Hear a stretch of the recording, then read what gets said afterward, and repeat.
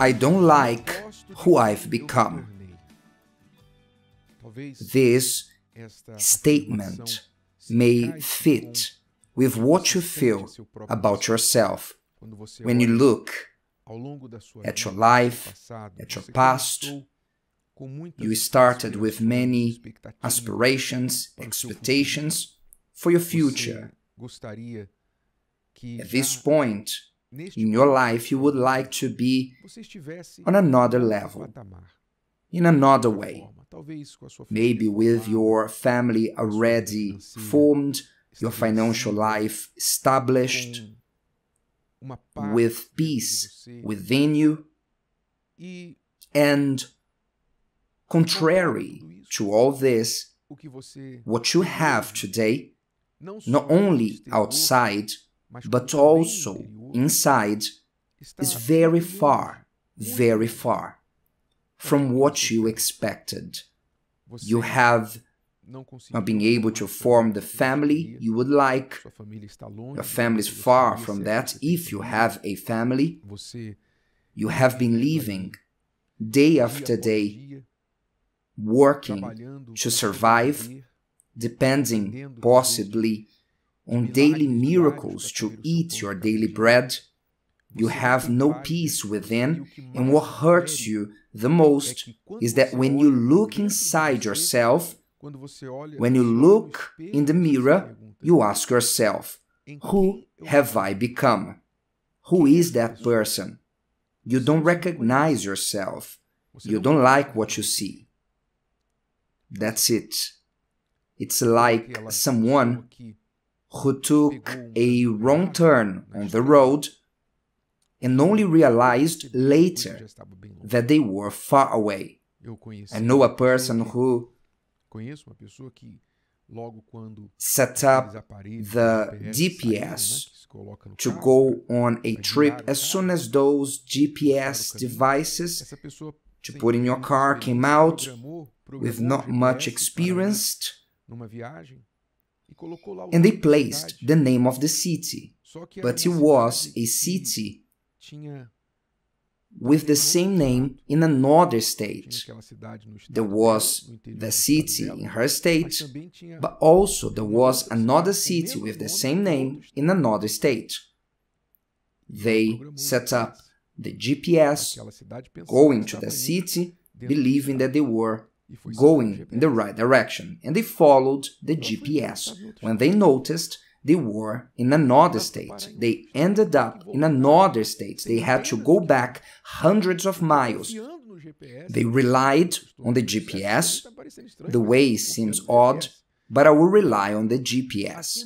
Likewise, so many people live their lives trusting in their inner GPS, which is broken and flawed, called heart. They follow the heart, the GPS that the world advises to use. Follow your heart. Have you heard that before? Have you ever listened to this in any song? At the mouth of any artist, celebrity, a character of a movie or series? Follow your heart. Follow what you feel, what your heart tells you.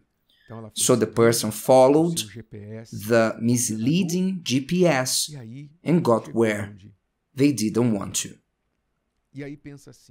And they think, how will I come back? Am I already so far from where I should be? Maybe I will stay right here. There's no turning back. It would demand too much work. Likewise, there's many who have become what they don't like, what they despise. And you see many people out there who look down their noses at others, puffs up their chests and say, I'm just like that, I don't regret anything. And even though everybody sees how they disgraced their lives, everybody sees it, Everybody say it, but they don't change their minds. Pride is greater. Pride speaks louder. They are lost, but they don't want to stop to ask for information. Am I right? It's like that lost husband who is driving. The woman starts telling him, Honey, I think we are lost.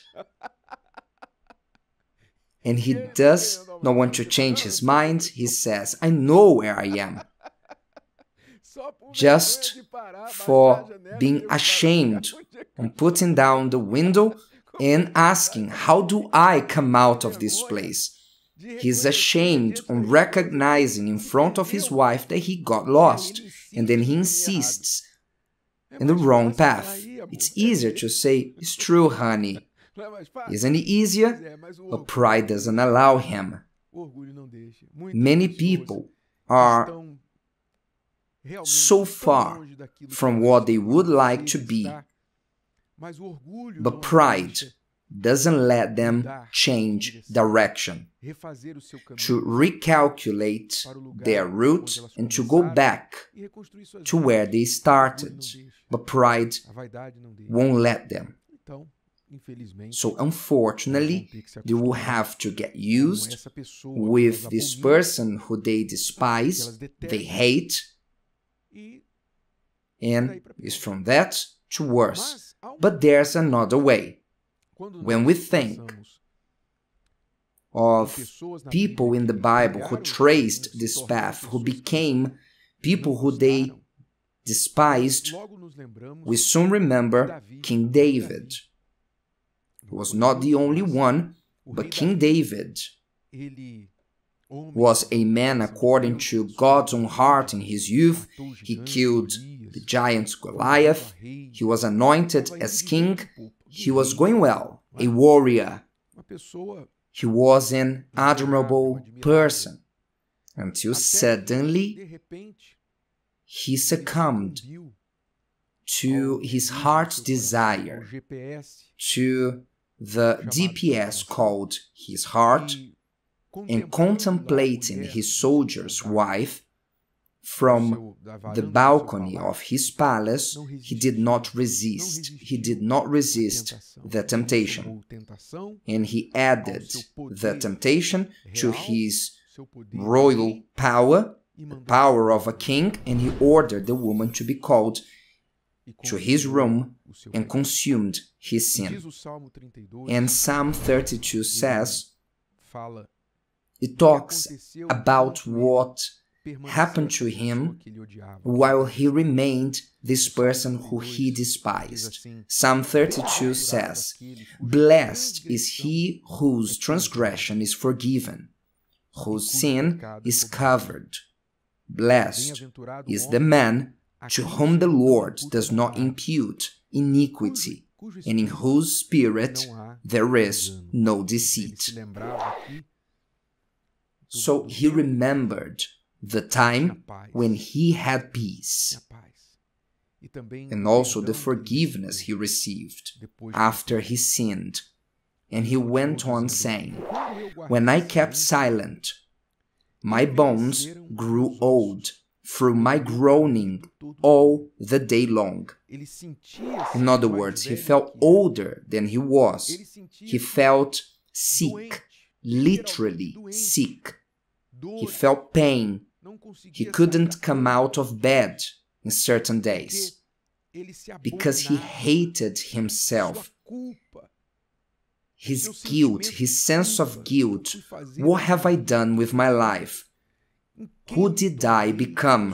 Who is this person? I don't recognize myself. That burdened his soul so much that he should have aged in his soul like 50 years. He felt like an old man.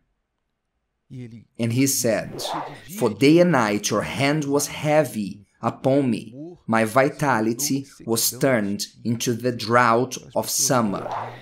Like those who are bitter with a long face, all that you tell them it is a reason for a fight. They are angry not at you, but at themselves because of what they carry within them. But then he speaks of the solution.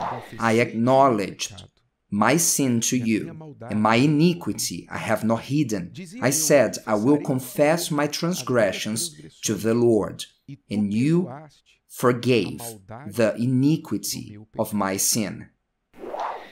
Then David resolved that matter, confessing it to God, finally taking off his ornaments, his mask, because as long as he kept that, he hid behind the sin, he tried to plot Uriah's death, Bathsheba's husband. He was fallen, but he kept standing firm. As long as he kept that stance, he only aged his bones.